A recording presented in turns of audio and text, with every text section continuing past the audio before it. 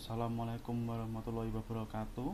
Perkenalkan saya Philip Austin Gunawan Dengan NIM 1905520027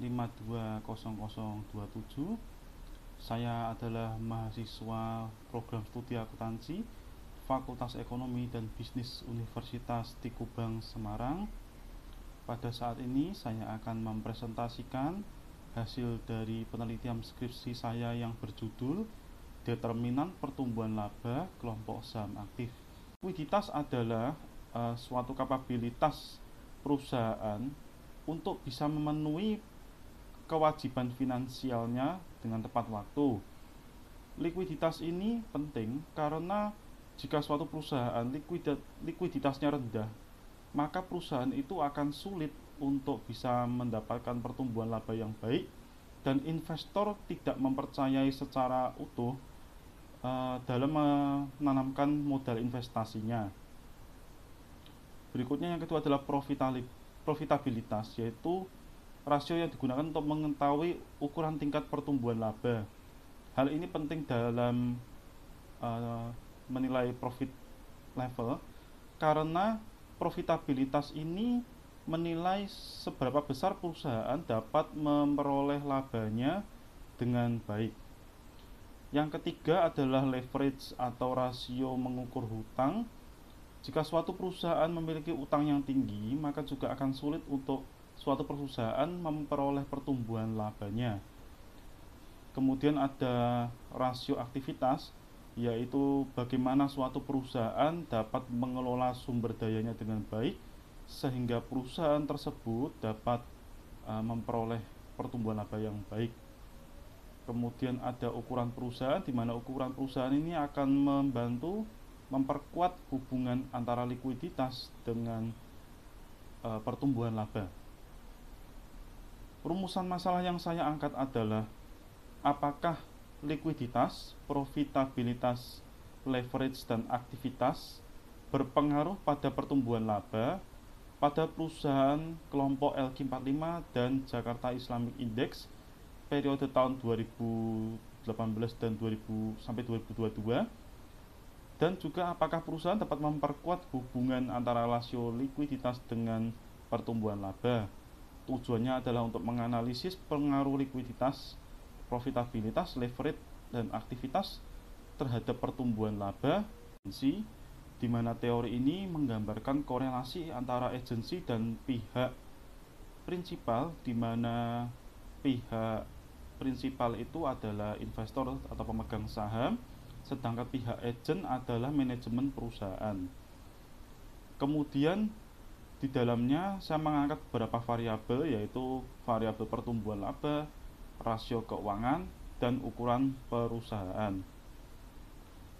Untuk penelitian ini saya menggunakan multi proxy di mana seluruh proxy saya gunakan agar hasilnya lebih kompleks dan merupakan bentuk kebaruan dari skripsi saya. Pengembangan hipotesis dalam skripsi saya yaitu pengaruh likuiditas terhadap pertumbuhan laba pada penelitian terdahulu menghasilkan berpengaruh positif terhadap pertumbuhan laba.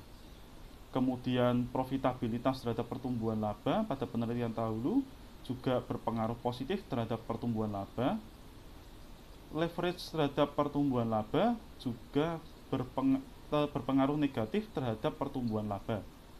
Kemudian aktivitas terhadap pertumbuhan laba menghasilkan berpengaruh positif terhadap pertumbuhan laba. Sedangkan ukuran perusahaan pada penelitian terdahulu menghasilkan dapat memperkuat hubungan likuiditas dengan pertumbuhan laba. Objek yang saya teliti dalam skripsi saya adalah rasio keuangan, pertumbuhan laba, dan juga ukuran perusahaan.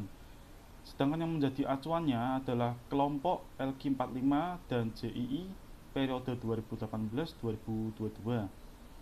Untuk populasi dan sampel yang saya ambil, untuk populasinya saya mengambil kelompok LQ45 dan Jakarta Islamic Index dengan kriteria industri tersebut memposting financial report sampai akhir tahun dan dapat diakses perusahaan tersebut berturut-turut tercatat dalam LQ45 dan JI selama periode 5 tahun dan financial report yang tercatat memiliki kelengkapan data. Setelah dimasukkan ke dalam kriteria, maka didapatkan hasil sebanyak 175 data amatan di statistik deskriptif pada skripsi saya menunjukkan hasil bahwa kelompok LQ45 lebih memiliki kelayakan yang tinggi dibandingkan dengan kelompok JII berdasarkan hasil statistik deskriptif. Kemudian berdasarkan uji multikolinearitas di mana nilai VIF lebih kecil dibandingkan nilai 10, maka tidak terdapat permasalahan multikolinearitas. Kemudian uji normalitas data di mana skewness dan kurtosis hasilnya lebih kecil daripada 1,96 maka data yang saya teliti berdistribusi normal. Kemudian untuk uji autokorelasi